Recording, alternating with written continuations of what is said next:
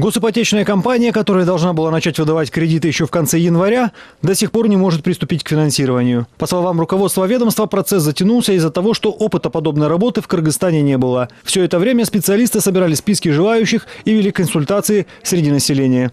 Временное положение находилось на общественном обсуждении. Общественное обсуждение к концу февраля закончилось.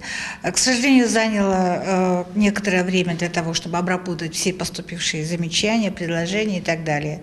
Значит, на сегодня временное положение уже э, подписано правительством. Э, теперь в самые ближайшие дни состоится заседание межведомственной комиссии, которая будет уже рассматривать списки. Предварительные списки уже сформированы э, областными администрациями и мэриями. И э, на сегодня они поступают уже в правительство. И я думаю, что сразу после рассмотрения этих списков начнется выдача кредитов. К выдаче кредитов мы готовы.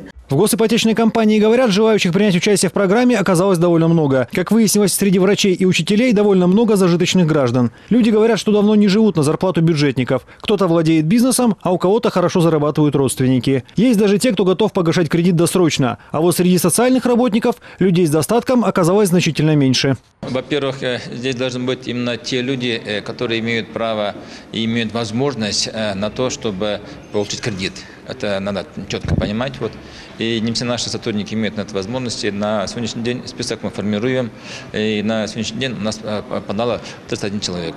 Депутаты говорят, несмотря на то, что проценты по государственной ипотеке ниже банковских, большинство нуждающихся они все равно не по карману. Так, например, за трехкомнатную квартиру стоимостью в 3 миллиона сомов при условии выплаты 30% первоначального взноса ежемесячно платить придется более 25 тысяч сомов. Поэтому социальные такие ставки можно назвать с трудом. Фракция «Республика Атаджурт» предлагает альтернативный вариант ипотечного кредитования. Соответствующий закон уже внесен на общественное обсуждение. Государственная программа предлагает под 12, 14 и 16 процентов, ну не более 16 процентов. Гибкая система начинается от 12 процентов. Э, политическая партия Республика Таджур предлагала и предлагаем не более 10 процентов, э, по 10 процентов кредитования. Это раз. Второе – это сроки выдачи. Э, мы предлагаем на 15 лет, не менее 15 лет.